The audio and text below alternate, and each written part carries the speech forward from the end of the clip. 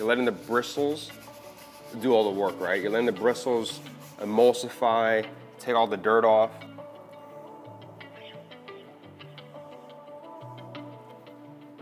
You can see all that dirt right over here, and hopefully you can see from here, if not here.